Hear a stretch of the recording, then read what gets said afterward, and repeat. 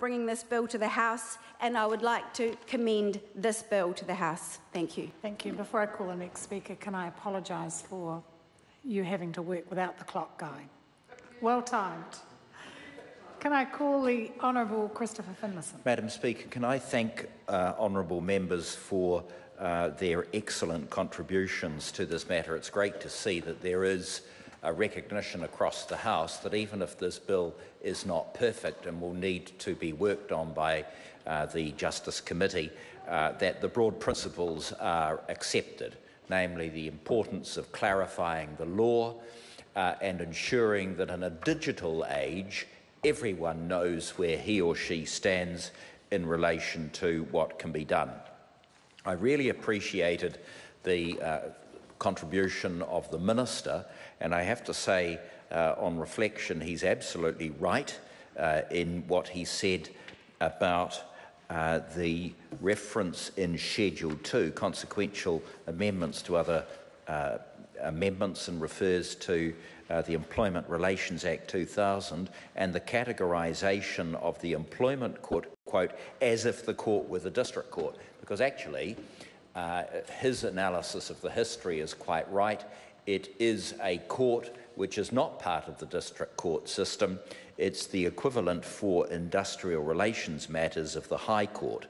And so uh, that's the first piece of work the Justice Committee will need to do to make sure that the definition of court recognises the employment court as a distinct court and not uh, as part of the, uh, of the or treated as though it were part of the district court.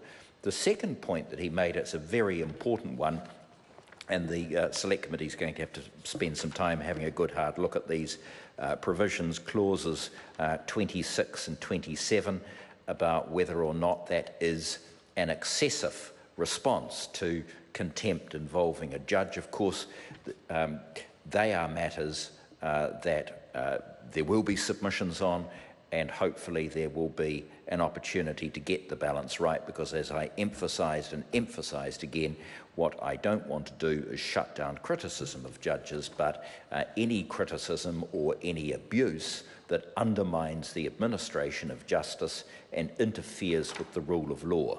I want to thank all speakers for the comments they had made about the current inaccessibility of the law and the idea of putting all law relating to the law of contempt in one place so that people, as I have said, know what their responsibilities are, what they can uh, and cannot do.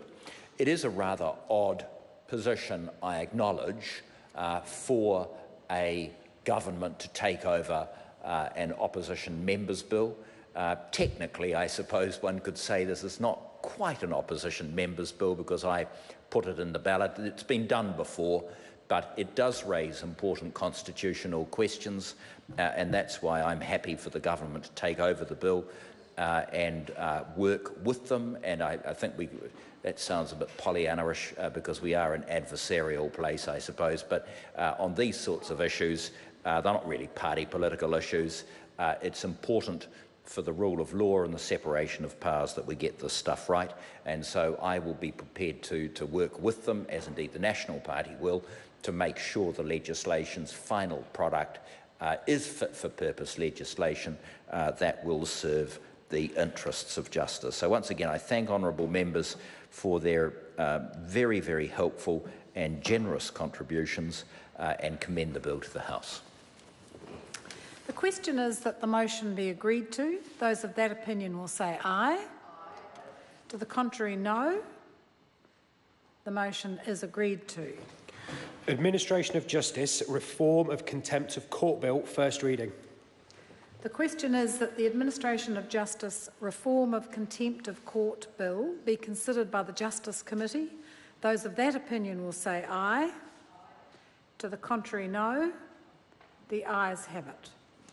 Call on members' order of the day number three. Oaths and declarations